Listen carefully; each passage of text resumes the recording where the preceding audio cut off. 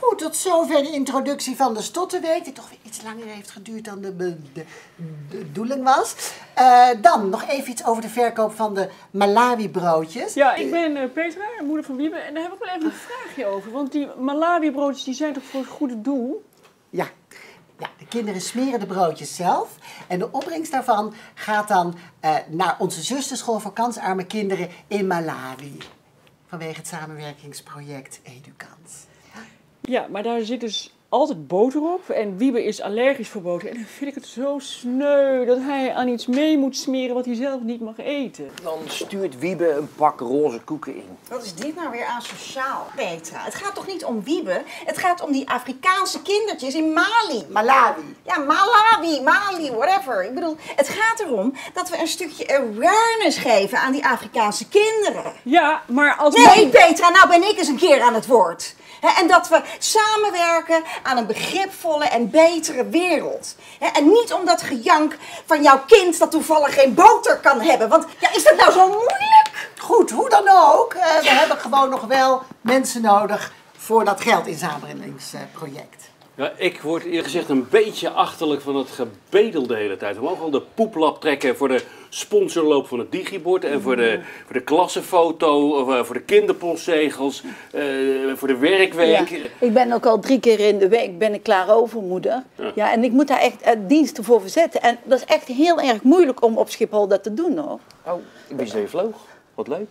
Een vriend van mij is co-piloot. Ken jij... eh, Nee, ik maak schoon. Oh, oh oké. Nee, dan, dan ken je hem niet. Zijn remsporen misschien. eh. leuk. Whatever. Maar ik zeg wel eens tegen mijn eh Pauline, ik zeg, waar halen wij in godsnaam nog tijd om te werken om al die zooi bij elkaar te sponsoren, toch? Misschien moet je niet zoveel geld uitgeven aan zo'n dure auto. Bepaal jij dat? Nou, wel als die altijd stationair voor de deur van de school staat te draaien als jij jouw maxje afzet. En terwijl jij notabene dichtbij woont. Jongens, Want- jongens, jongens, jongens. Een beetje lief zijn voor elkaar.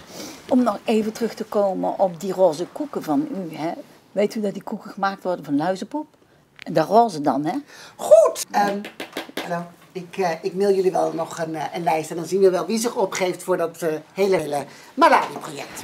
Eén Eh, ding, zouden jullie niet eh, alle mailtjes willen beantwoorden met eh, reply all? Oh, dat doe ik altijd juist wel. Het is toch lekker eh, transparant naar Ja, alle ouders toe? Gekke transparant. Leuke blouse. Ja, maar ik krijg al zoveel zakelijke mail, dankjewel trouwens. Dus dan gaat het allemaal door elkaar heen lopen. Ah, ja, dat is natuurlijk belangrijk, hè? Belangrijk, belangrijk. Eh, eh, Jen, wanneer is dat Malawi dan eigenlijk? Want Wanneer moet ik dan helpen smeren? Ja, de Malawi-broodjes die zijn al over twee weken. Oeh, maar valt dat samen met de sportdag? Nee, dat is, Want de, daar heb ik al moeten ruilen. dat is de week daarna. Dan, dan zou ik namelijk rijden met, eh, met de Volvo. Ja, ik heb, daar, ik heb daar nog wel even een vraagje over. Eh, het is een Volvo XC70 Cross Country, dus eh, als dat je vraag beantwoordt. Een heel hockeyteam kan erin mee. En ook als de meisjes wat groter zijn, hè, Hans Maarten.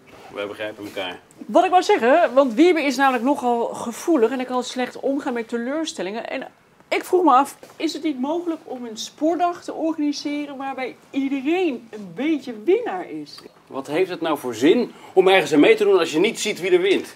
Jongens, eventjes een, eh, een time-out over deze hele sportdagdiscussie. Onze stagiaire juf Lebbeke, die zal jullie een mailtje doen uitgaan eh, met alle data. En dan eh, komt dat vanzelf goed. Nou, dan gaan we nu ehm, over naar het volgende agendapunt. Ik heb nog niet alle strookjes binnen met de aanmeldingen voor de schoolpedicure.